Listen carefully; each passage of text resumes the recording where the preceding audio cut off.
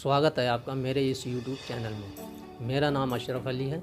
मेरे इस YouTube channel में आप सभी को अलग अलग तरीके का यूनिक आर्ट वर्क देखने को मिलेगा। जैसा आपने देखा होगा, लोग बोतल के अंदर अलग अलग तरीके की आर्ट वर्क बनाते हैं। लेकिन मेरा आर्ट वर्क थोड़ा अलग है, क्योंकि मैं बल्ब के अंदर यूनिक आर्ट बनाता हूँ। आने वाली वीडियो में आपको कुछ इसी तरह के आर्ट वर्क दिखाना चाहता हूँ। उम्मीद है आपको मेरी वीडियो पसंद आएगी।